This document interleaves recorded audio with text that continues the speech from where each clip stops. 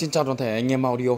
Và tiếp tục một cái video cụ thể và một quả súp Yamaha SVK 90 Quay nhanh mời anh em cùng xem về cái độ ngoại thất của nó và cái nội thất của nó. Còn quả súp này về tính năng, về kỹ năng sử dụng thì anh em xem kênh của em nhiều thì đều đã hiểu. Và chắc chắn có rất nhiều bác đã quá hiểu về vấn đề này rồi. Đây quả súp Yamaha SVK 90 Phải nói là rất đẹp luôn. Với cấu tạo là một bát 20 xương sắt như này nam châm từ kép. Củ bát được sản xuất tại um, Indonesia. Đấy với trở kháng là 6 ôm. Lòng bát là lòng màng carbon gần là gân cao su. Định hướng.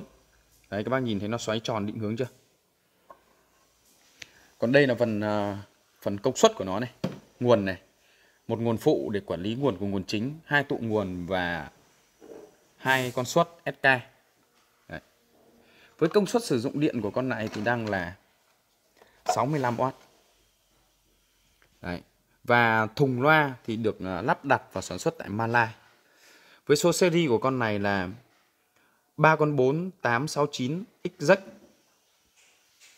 có đủ tín hiệu cổng AV vào và hỗ trợ cả âm đi nghe nhạc để cắm vô đây để hát karaoke.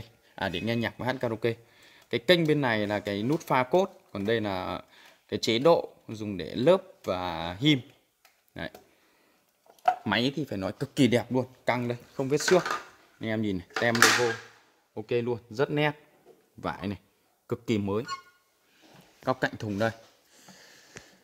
Quả súp này hoàn toàn có thể đánh nghe nhạc và hỗ trợ karaoke với phòng diện tích phòng từ 30 mét vuông đổ lại rất ok luôn.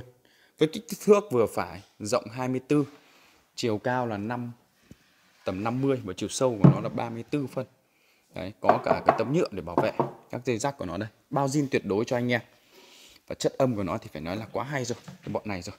Và giá của quả lo súp này thì xin phép được công bố tới anh em là giá là 3 triệu tư của súp này. Đấy. rồi, cảm ơn anh em, quý vị các bạn đã xem. Em ờ, tạm dừng video của quả súp này tại đây.